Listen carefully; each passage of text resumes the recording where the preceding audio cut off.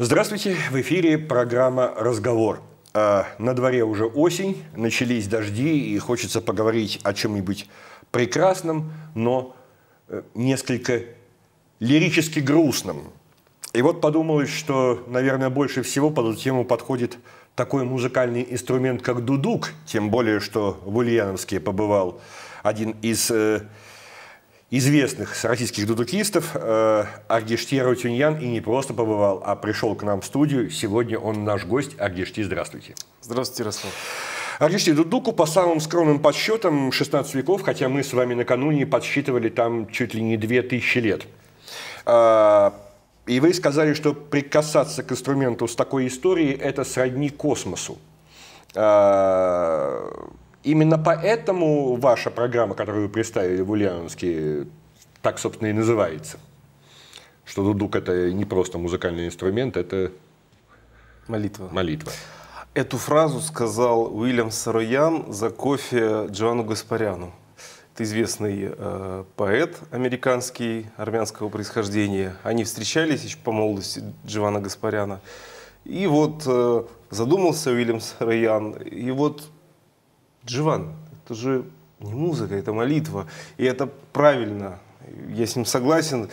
Дудук это больше, чем музыка. Я на многих музыкальных инструментах играл, я пианист, ударник по образованию. И вот я пришел к дудуку просто потому, что одной музыки мне всегда, как музыканту, было мало. Я беру дудук, я играю, я обычно закрываю глаза, и я закрываю, и я вот улетаю в то прошлое, о котором вы говорите. Две-три тысячи лет армяне там расходятся, и обыватели, и профессора расходятся в оценках, но в любом случае это очень старый, очень древний инструмент. И да, я забываю, что это музыка, вот какие-то ноты, там переливы, какие-то глиссанды, уже это не важно, все само сыграется. Главное, что стены каких-то монастырей, горы, воздух, дух ветра, угу облака. А, вот. Гришти, смотрите, какая штука. Вы ведь могли прийти к скрипке, условно говоря. Или там, не знаю, к виолончели, контрабасу, не знаю, к маракасам, наконец. Но вы пришли к дудуку. Э, повлияло ли то, что все-таки корни-то вот, что вас с ним роднит, собственно, одна родина? У меня есть приятели, которые играют на дудуке, у меня есть ученики, русские ребята играют. А, дело в том, что дудук музыка э, Дело в том, что дудук – музыкальный инструмент этнический, а обычные этнические инструменты, они тянут за собой манеру и традицию игры, которую просто так из инструмента не вытащишь. Аргишти Грачикович Артюнян, композитор, дудукист. Родился 8 сентября 1982 года в Ленинграде. Получив академическое музыкальное образование в родном городе, отправился в Армению и продолжил обучение в Ереванской консерватории. В 2008 начал сольную карьеру. Играет также также на фортепиано, ударных, гитаре, балалайке и клавесине. Дает уроки классической гитары. В дискографии Аргишти 10 альбомов. Увлекается каллиграфией и политологией. Цитата. «Арабская культура представлена во мне какой-то импульсивностью, эмоциональностью». За дудуком стоит Восток, Армения, и поэтому надо просто видеть, знать и копировать эту, эту манеру. Точно так же с балалайкой, с ситаром, там, с свистлом ирландским. Да? Поэтому э, просто дуть и просто нажимать на отверстие этого мало.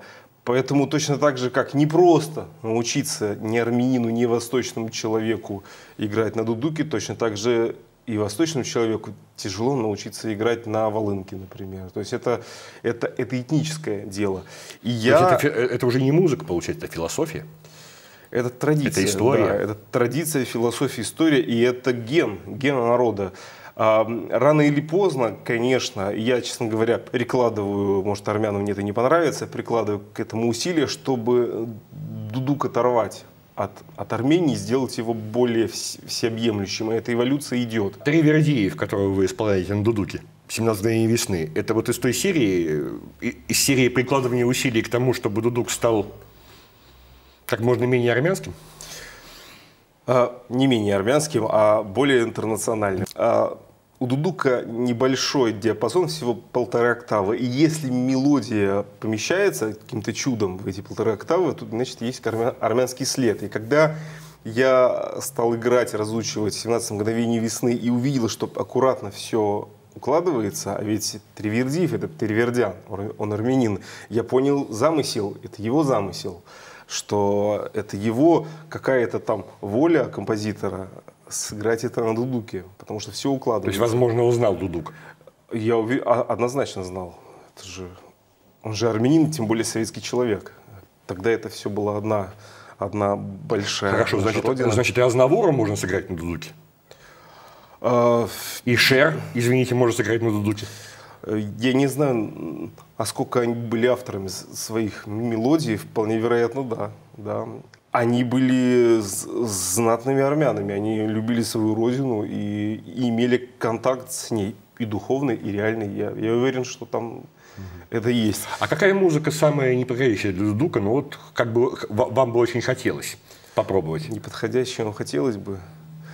Вы знаете, есть определенная невозможность играть на, на, на нем джаз. Я как, как человек с джазовым э, частности, образованием. Очень много джаза играл на фортепиано, на саксофоне занимался. Очень хочется играть джаз. У каждого инструмента есть свое эмоциональное поле. У саксофона это эротика, да, у скрипки это такая истеричность, да. Так, а у дудука что? А у дудука это рефлексия, это отчасти плач, но больше такая философичность. Слушайте, он же Достоевский просто. Нет, э, нет. Дудук это э, Достоевский, э, судя по вашему описанию. Нет, я считаю, что Достоевский это надрыв. У Дудука за надрывом еще стоит спокойный контакт и величие вечности. Вот в Достоевском я это не замечаю, но пусть будет так. Пусть. Ну, вам виднее, вы все-таки из Санкт-Петербурга. Давайте все-таки о вас. Вы сами по себе достаточно интересный человек. Вы человек, как говорит интернет, с тремя именами. У человека три имени. Это как-то влияет на его жизнь? Мистическим образом, космическим образом? Ну вот есть всякие рассуждения о том, что имя дает человеку необходимую энергетику, может испортить его жизнь, куда-то увести. Я считаю, что это может только обогатить. Однажды ради мечты и музыки вы сильно пожертвовали тем, что среди среднестатистических людей считается главным в жизни. Положением, в том числе семейным, и деньгами. Зачем? Слушайте, а о, о чем речь? Я что-то... Ну, это из, это из вашего интервью. Да, может быть, вы сказали. Однажды ради мечты и музыки я рискнул всем тем, что среднестатистический человек считает главным в жизни деньгами и даже личной жизнью. Да. Вы не помните, о чем вы говорили? Я предполагаю, просто столько интервью всяких разных было, тем более в разное время моей жизни, знаете. Опять же, не вдаваясь в подробности, вот это, та, такая жертва, она нормальная, она, она реальная? Зачем? Я считаю, что нормальный, правильный мужчина все равно рано или поздно перед этим выбором сталкивается. Либо его мечта, а мужчина без мечты. Я считаю, что это неполноценный мужчина. И да, у меня была работа, у меня переводчик французского языка. Ого. Э, это было у меня по высшему образованию. Об этом даже все знающий интернет молчит. Да? Странно. Да. Я не скрываю этого. И однажды э, так случилось, что вот, надо ехать, надо ехать на первые гастроли, меня приглашают, и я понимаю, что жизнь музыканта даже с таким достаточно экзотическим инструментом, это будет непросто, это будет сложно, это значит а, я мало, буду мало общаться с семьей по каким-то среднестатистическим меркам. Это значит, что непонятные финансовые какие-то у меня будут э, э, дела. И, и женщина должна, то есть э, есть риск потерять женщину и жену. И, в принципе, я ее могу даже отчасти понять. Да, несмотря на то, что я считаю, что правильная женщина идет за мечтающим, старающимся, ищущим себя мужчины, но, так сказать, он значит... То есть не любят романтиков, на самом деле, все это брехня? Я думаю, это зависит от конкретного человека, от, от конкретного сочетания. И вот я поехал, я стал ездить, и я ни, ни на секунду об этом не жалею. Знаете, вот мне уже скоро, уже, уже 40 лет, пора подводить первые, а может быть даже уже и вторые итоги жизни. И я, я вижу, что я, знаете, как мой дедушка говорил, да, надо прожить так, чтобы было о чем вспомнить перед смертью, так сказать, оглянуть жизнь таким взглядом и сказать «да, да». Это правильно, это, это того стоило. Аргишти, а с возрастом, э, учитывая, что вы музыкант, профессия романтическая, самого романтизма-то не поубавляется? Не становитесь прагматиком? И не опасно ли это для музыканта? По-моему, это Уинстон Черчилль сказал, да, что э, если ты в молодости не был романтиком, ты просто... Да, у тебя нет сердца, вспомнил. Если в, в зрелости ты не рационален, то ты просто дурак. Не консерватор. Вот. В оригинале было так. Под словом консерватор на самом деле подразумевается прагматизм и рационализм. Я, mm-hmm. Мне кажется, так, так он думал. Это нормальное течение жизни вне зависимости от профессии. Мужчина взрослеет, он становится более разборчивым, менее горячим. Поэтому, да, а романтизм просто отстаивается и становится более серьезным. И у меня с романтизмом все в порядке. Я, знаете, я много от моих э, коллег слышал про выгорание, про то, что вот уже не хочется играть. Вот, э, к сожалению, я не буду называть фамилии приятеля, у меня есть дудукист. И вот он мне говорит, что я не могу играть, я не могу больше выходить на сцену. Вроде бы я хорошо это делаю, людям нравится, но не идет. И я смотрю на него, как? Потому что я беру дудук, все, я улетел сразу. И неизвестно, что будет завтра. Мне даже немножечко страшно. Что, а вдруг действительно, что ты будешь делать? Ну, два концерта сыграешь, ну, десять ради гонораров каких-то. Но, а дальше-то что? И я, я волнуюсь. Вдруг это произойдет. Но я волнуюсь только после таких рассказов. В глубине души пока у меня полно заряда. Ну, есть и другие высказывания. Например, высказывание одного из самых титулованных дудукистов страны Дживана Гаспаряна, который ни много ни мало назвал вас одним из самых чувственных исполнителей дудуки. Да. Это, наверное, поднимает самооценку. А, э, поднимает самооценку, да, потому что он мне лично это сказал, и он сидел, э, вокруг были люди, наши коллеги, которым я ученики э, кажусь и годился, и они это слышали, и я понимаю, что он меня отчасти хотел подбодрить, как юное поколение, но это, наверное, лучше всяких медалей, наград, титулов. В общем, я этот момент помню. А самое интересное в тот день было до этой фразы, когда я играл. Я приехал, так сказать, из России, я вообще никого не знаю. Вот, и я должен был играть под минус. Ну, это Армения, знаете, там все непонятно. Я приехал, никакой аппаратуры нет, ничего нет. Вот дудук, вот и играй. И полный, ну, там человек 300. И мне стало страшно, потому что, а, а как я буду выглядеть, да, вот я один выйду на сцену. И я там со всеми перезнакомился, и лучший дамкяш. Дамкяш – это человек, который тянет ноту такую, да, вот, то есть а, солирующий дудук играет, дам дудук тянет ноту, так в армянской традиции так положено. Он говорит, я тебе, я тебе сыграю. И подходит один из лучших э, Дольчи. Дольчи это человек на барабане играет, который над, над голи.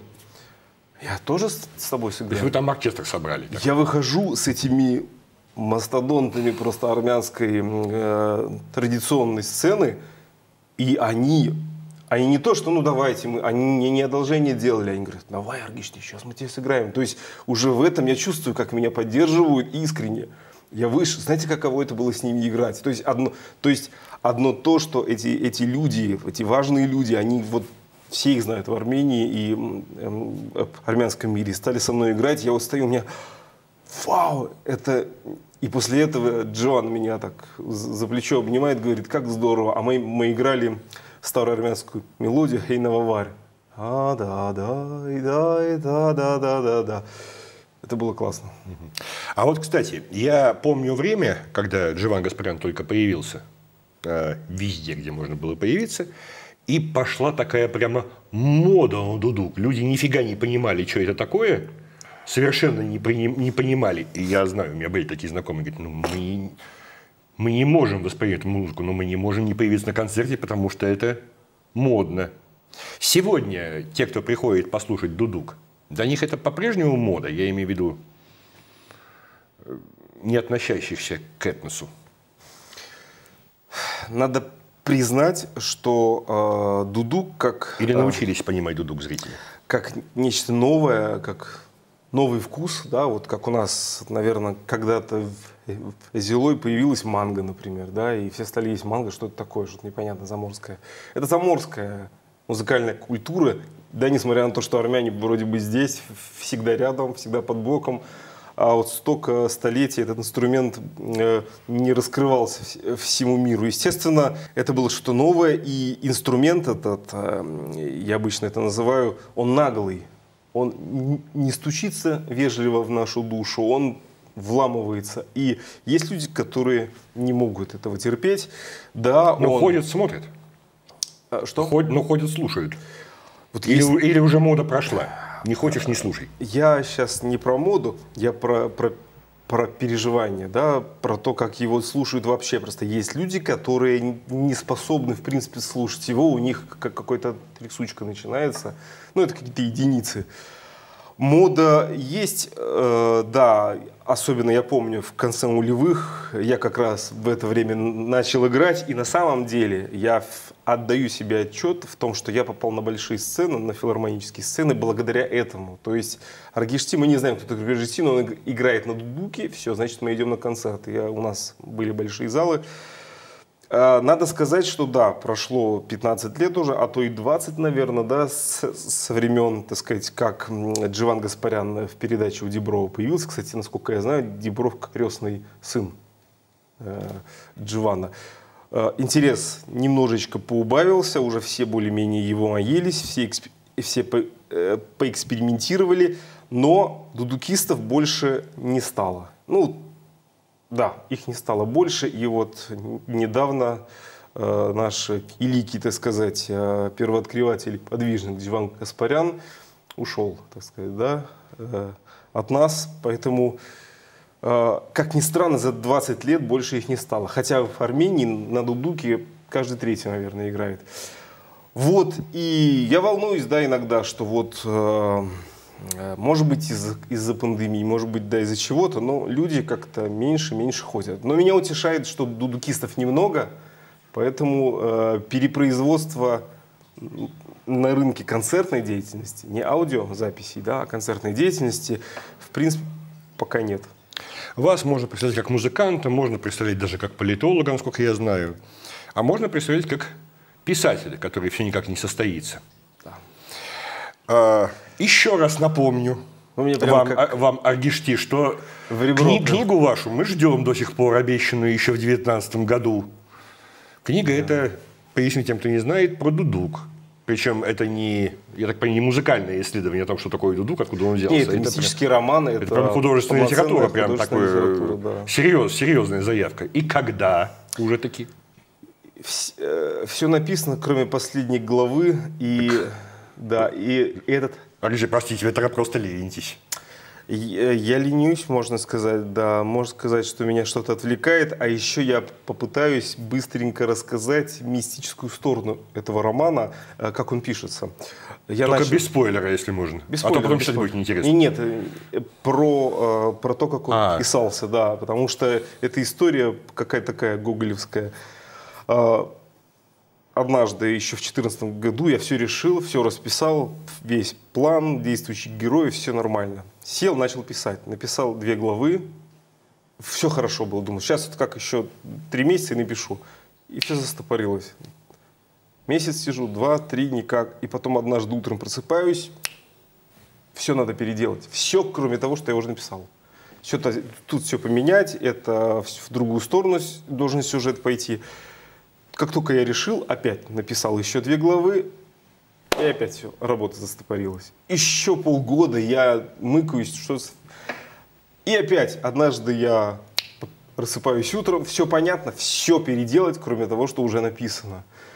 И вот эта история продолжается до сих пор. Слушай, ну вы просто петербуржец тогда, с этой рефлексией, с вашей... Э, Может быть, и дело в этом. Но я, э, я понимаю, что время уходит, что надо что-то делать, и я понимаю, да, что Аргишти музыкант, э, может быть, в, в принципе, Аргишти музыкант уже дал, что он может дать. Осталось добавить к этому всему, что я построил, вот роман это будет такая вишенка на торте, которая добавит интеллектуальности. Стоп, дальше, дальше не надо, а то мы сейчас договоримся до того, что напишу роман и все, и буду, буду считать свою задачу выполненной. Нет, Но вообще давайте. это хорошая штука. Не надо, не Даже надо. если плохой роман, каждый человек напишет. Вы потом снимете по этому роману кино еще, то есть есть было еще... Было бы здорово, было бы здорово. Вот, В общем... Э, так когда? Благодаря... 22 23 25 Дело просто в том, что э, прошло уже несколько лет, мои, э, мои взгляды на многие вещи изменились, идеи устарели. И теперь и, это будет вообще новая книга. И Надо мне, честно говоря, даже я вот сейчас перечитываю, да, я его уже, ну, я пытаюсь над ним продолжать работать, и мне немножко неудобно перед перед романом и перед зрителями, что я как бы догоняю старое, потому что уже какие-то вещи неискренние. Поэтому мне нужно с этим вопрос решить. Вполне вероятно, что, может быть, я, я напишу его заново. Вот, но... А где же только без гоголевщины, я вас умоляю. Не надо ничего сжигать. Не-не-не. не. Вот. А, ладно, книга понятна. Книга – это серьезное произведение, даже если это мистический роман. Есть другой жанр, которым вы поднаторели. Я и правда не знаю, что это такое. Я просто прочитал в интернете «Лаби ласки». Тема животрепещущая. Так и... объясните сначала, что это такое. А, я, да, я расскажу. Я вообще, э, у меня филологическое образование, то есть я беру писать роман не с бухты-барахты. Я вообще с детства что-то писал, так сказать. А с таким образованием, в принципе, есть какие-то перспективы. И тут меня потянул на поэзию, отчасти, э, отчасти меня вдохновил Амар Хаям, но главное, меня вдохновил, э, там пара людей еще, Губерман, в общем. Ого, У него гарики. Хаям, Губерман, это... Емкие, яркие катрены, э, хлесткие. Вот. После того, как у меня был сложный, очень э, тяжелый развод, у меня от первой жены двое детей, мы 7 лет прожили вместе, ну, так сложилось, что мы расстались. Я очень тяжело переживал это. Кстати, ульяновские Первый мой концерт после развода был в Ульяновске. В Ульяновске много с этим связано. Я именно здесь встретил человека, который научил меня бегать. Бегать не ради спорта, а бегать ради того, чтобы пережить этот, этот, эти страдания. Да? Потому что бег, я просто этим занимаюсь. Ну, так сказать, я полумарафон недавно пробежал. Но ну, это такое, такое хобби. Так что, э, если ты меня слышишь, э, обязательно тебе спасибо, дорогой Ульяновский, мой слушатель. А, и, понимаете, как у любого нормального мужчины, с которым это случается, развод а, тяжелый.